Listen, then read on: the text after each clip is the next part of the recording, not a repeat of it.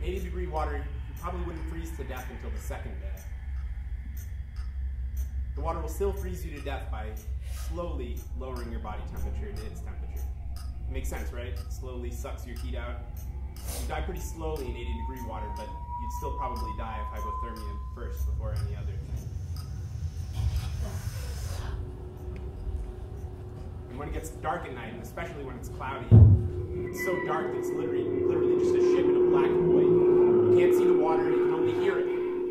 It's cloudy, you can't see any light outside. The only thing is the lights from the ship. It's just like being on a spaceship. And then in the sweltering tropical sun, there's the I just want to jump overboard, the water seems so nice right now conversation. A lot of times people just like to discuss the logistics of survival. Like, if I jumped overboard, maybe it's such and such a chance that they'd find me. And if not, I calculate that this is how long I'd survive. This is the most likely scenario for my death. Maybe what I would think about while I was out there. Everyone describes the urge to jump just to see what would happen. To see if you get rescued or not, and then, yes, what would be like to be swimming in the middle of the ocean. So we have to lower the instruments off. So a lot of times we're hanging right over the stern, lowering the instrument into the water. And it's only eight feet down. And it would just be so easy. It would just be so easy.